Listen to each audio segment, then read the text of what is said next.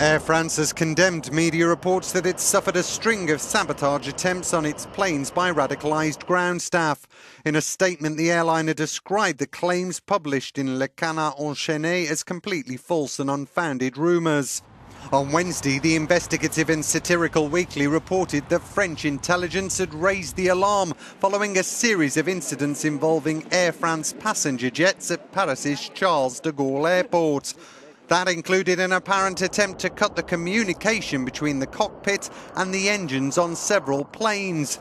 According to the paper, around 40 jets were also daubed with Allah Akbar or God is Great on the fuel flap, which resulted in one pilot refusing to take off.